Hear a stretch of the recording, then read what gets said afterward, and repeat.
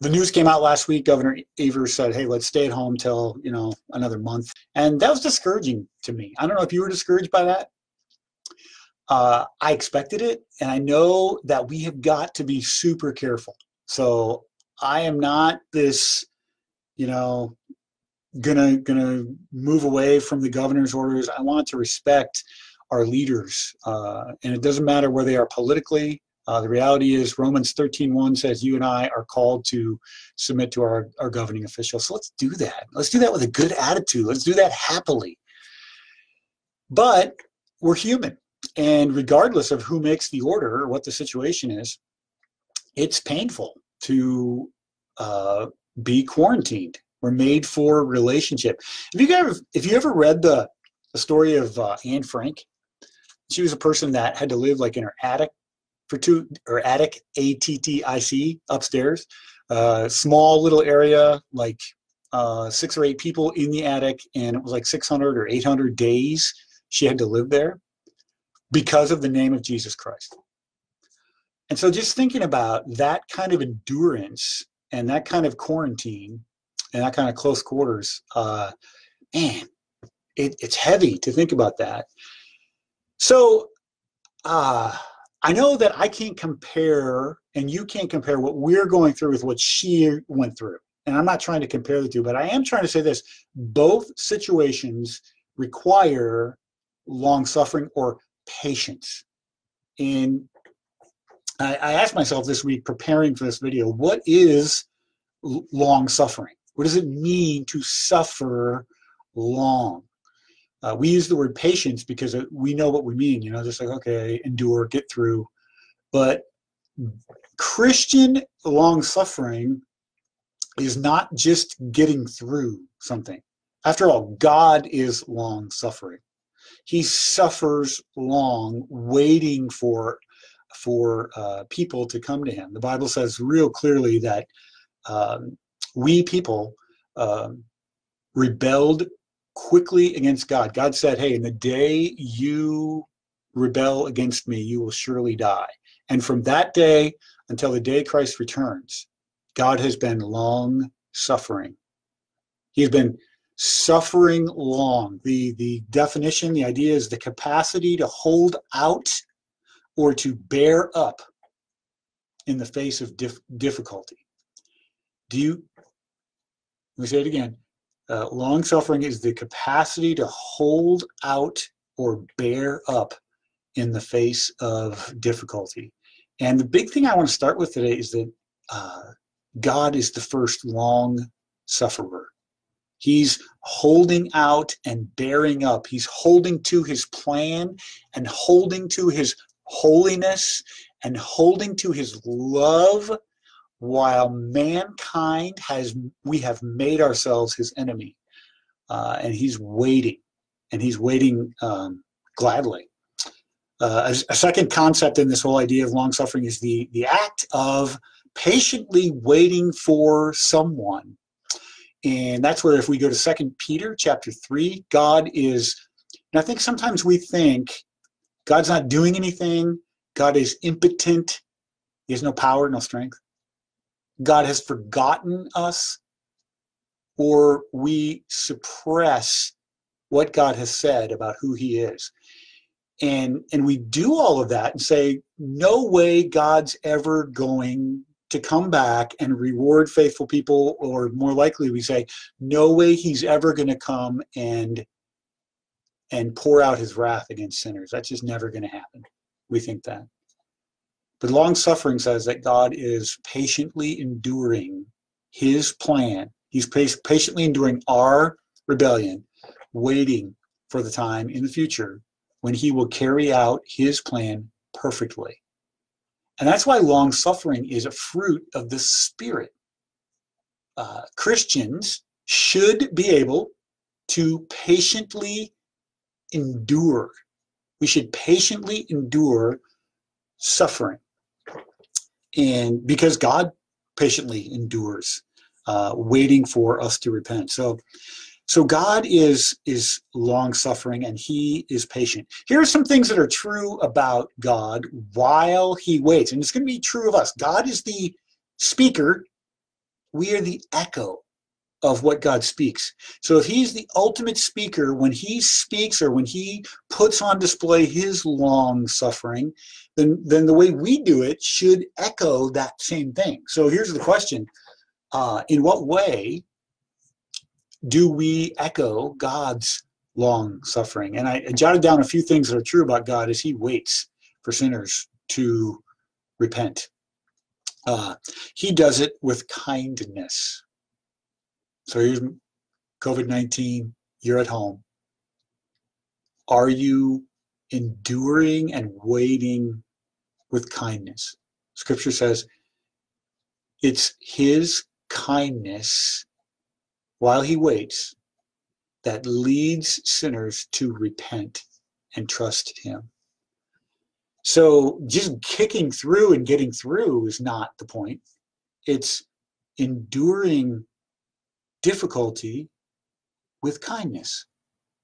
Kindness is uh, purposely looking out for the needs of others, purposely doing good to others in the midst of and while you wait.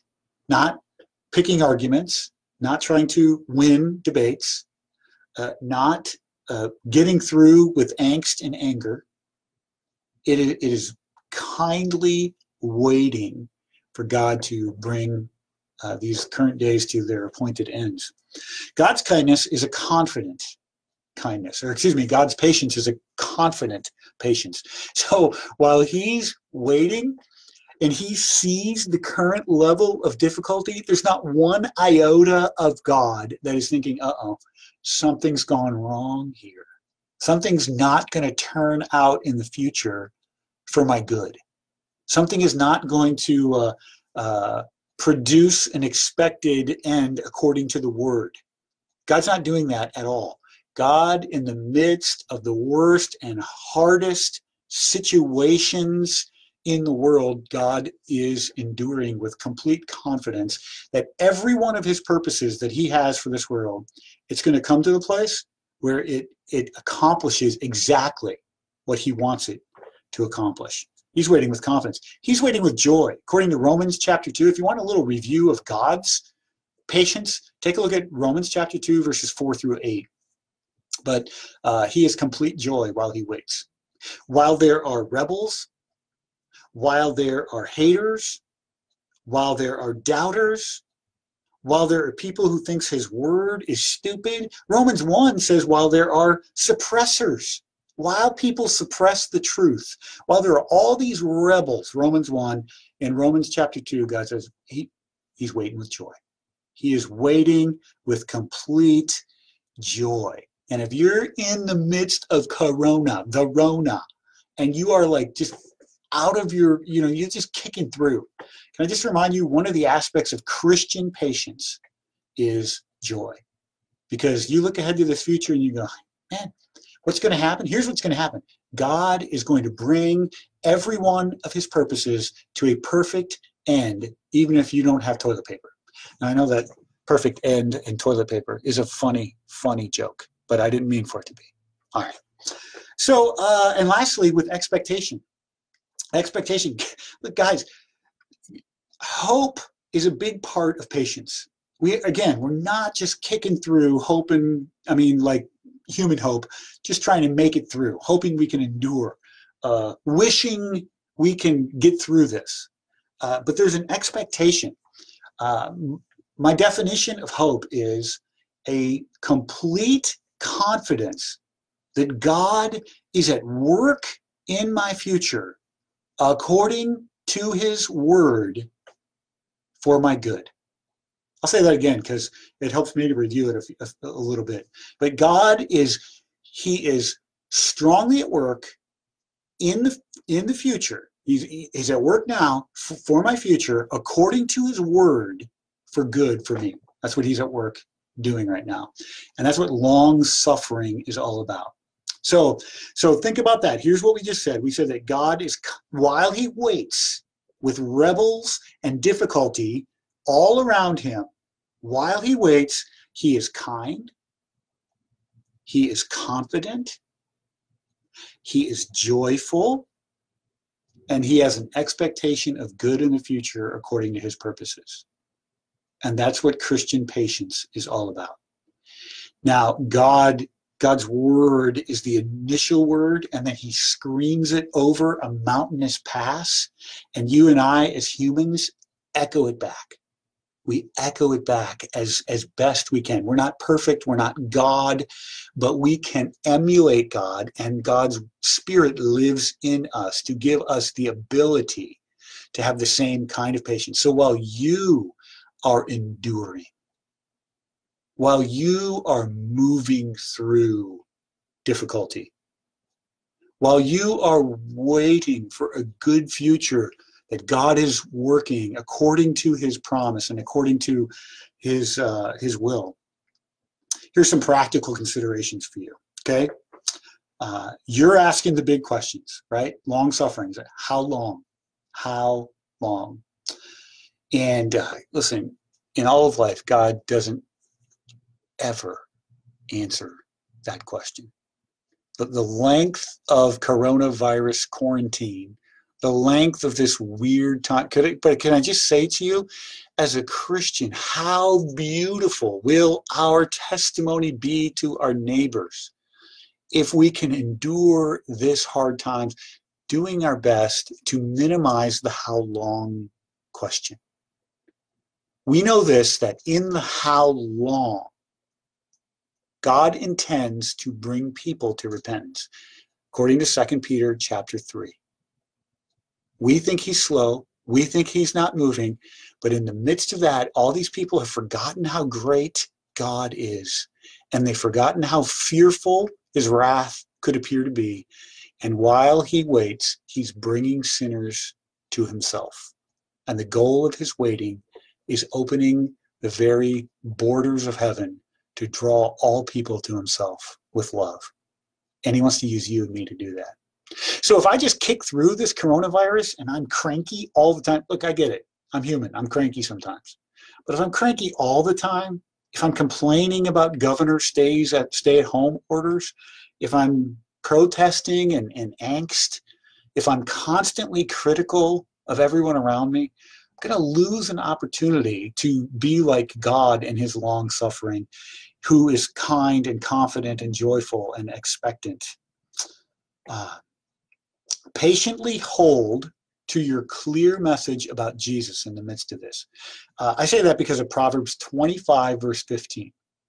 So Proverbs 25, 15 says, uh, patiently and clearly hold to your message, and then when you leave the king, he's going to have to think about it. And can I just say to you, if you're dealing with your adult kids, if you're dealing with a grandma or grandpa, if you're dealing with a spouse, patiently, kindly hold to your message about the sufficiency and glory of Jesus Christ. And when you leave them, they're going to have to think about what you said. That you are clinging in the midst of coronavirus, you're clinging to the fact that Jesus is enough. And as you cling to Him, you may lose the in person discussion about how great God is. But the truth of what you said is going to ring in their ears. And Proverbs 25, 15 says, eventually the king's going to have to deal with what you said to him. But the key is this hold to your message about Jesus with love and patience while you wait. Do that with your kids, do that with your grandkids. Uh, patiently wait. Doubters and critics, they're going to hear your message while you while you wait. Uh, second concept: be, be happy while you wait. Now that's easy. You say, where do you get that happy? I'm not happy about this. I, in my flesh, I'm not happy either. But James 1:12 says, uh, "Blessed is the man who patiently endures." And that word "blessed," you know, people like to uh, split hairs, but can I just tell you what, what blessed means? Happy. Happy is the man who right now endures. Now, here's our option I can endure hardship, or I can try to escape hardship. And James 1 says, Happy is the man who remains faithful in the hardship. That's what God is doing right now. Long suffering. That is, faithful suffering is better than trying to escape suffering. And so that's what you're called to do. And that's what I'm called to do. Uh, so you'll be happier in the future and now if you embrace the suffering now rather than try to avoid or even uh, somehow diminish the suffering now. Uh, we think that if we could just avoid the suffering, if we could just get back to the way things were. But can I just tell you, I don't want to get back to the way things were. I want to show love better. I want to care deeper. I want to have more significant in-person meetings. I want to be on my phone less. I want to, you know, all these things that. Uh, so, so getting back to the way things were. I hope that's not like a major motivator in your life. Let's not get back to the way things were. Let us endure patiently uh, what God has called us to. So you'll be happier if you patiently endure. Uh, you're not trying to escape. Um, there's a future reward. Uh, James 1.12 says uh, there's a future reward for those who endure. Blessed is the man who remains steadfast under trial, for when he stood the test, he will receive the crown of life.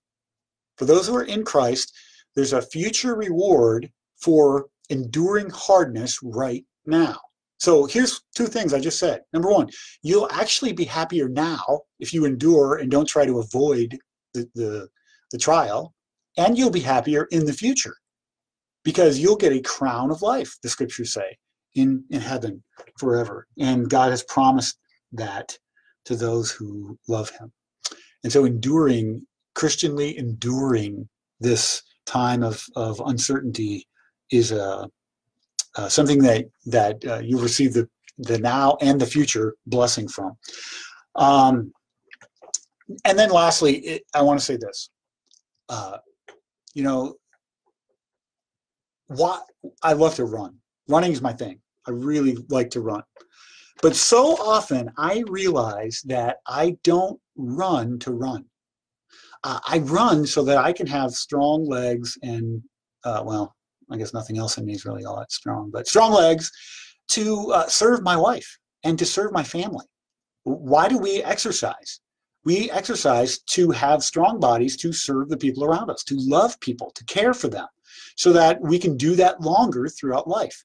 We also exercise because uh, I, you know, here's another little side note I want to tell you. I realized in my little app that I track stuff on, my goal, my, my app gave me a goal, and I've had it for two years, and basically says to be active for 150 minutes a week. Okay, so that's two and a half hours. Uh, do you know that people like pioneers who settled this country were active 10 hours a day? Like they're just constantly active. They were they were pushing it. They were moving it all the time. 600 minutes a day. Now our goal is 150 minutes a week. Well, my point is that they were strong to serve and to work, and and now we exercise, and we ask ourselves: Is I'm just saying this the exercise isn't the goal. The goal is to have strong bodies to serve the people around us. And so uh, I, I, trust that that is, is your goal as well. And uh, my point in saying all that is, is that when you test your muscles, you can trust your muscles. And, and the tr- this trial that we're going through in coronavirus is a testing of our faith. And when our faith is tested, we have to we have to ask ourselves Am I trusting the risen Christ and the power of God's word to bring me through this time in my life, this, this little um, moment in my life? Am I trusting God? Am I trusting Christ? Am I trusting His Word? Because when we know for sure that we're not trying to do it in our strength, we're not saying no to God and doing it our own way, we're embracing His Word, we're believing His Word, we're, we're growing in our prayer life, we're asking Him to act. When we do those things, then we can look at our own faith and go, you know what? I 100% am counting on God. I, I am counting on him to come through. I'm believing his promises. I am going to his word for comfort. And that's what James 1 12 and following means when it says, here's the progression. You're happy And you can count it joy when you go through all these various kinds of, of trials and struggles. And uh, know this that when you do, when your faith is trusted, and when your faith is tested, that eventually the goal of the testing is so that you can know for sure that you've got a rock solid faith in Jesus Christ. And really, that's what this whole long suffering thing has given you the opportunity to answer the question Is my faith securely in Jesus Christ alone? My friend, when you go through the hardest of circumstances and the hardest of difficulties, and you can look back and say, okay, relational stress off the charts. I trust Jesus. Financial questions everywhere I turn. I don't know how we're going to get through. Oh God, would you come and help? And and the testing of your faith produces endurance. And you look back and go, well, when I had nothing, when I had nothing, God came through. Uh, college or senior year of high school put on complete hiatus. I went through, you can you will be able to say one day, I went through that hardship with kindness and confidence and joy and expectation, and God was at work for a future good in my life, and I see that He is good. And you will be able for the rest of your life to say, Oh, yes, I trusted Him and I trust Him alone for this. And that's our heartbeat, is that uh, together we have that kind of patience and that kind of long suffering so that our faith is tested so we believe we we know that we are trusting god. We go through the hardest situations and come out on the other side saying i believe god. I trust him so my friends uh, i'm not making light of how hard this coronavirus thing has been I'm not making light. I can't imagine. I see friends here that have that are going through relational difficulties. I see friends here that are going through, um, you know, I know brothers and sisters that are uh, uh, ER docs in New York uh, at ground zero of coronavirus, where literally their health and their life is on the line. We're not making light of it. This is the hardest things we're going to go through. But if you can trust God now, in the midst of this. If you can say securely and strongly, Jesus Christ has risen from the dead and he's my only hope, my only hope for salvation in the midst of this, you're going to be able to say it for the rest of your life because a tested faith is a trusted faith.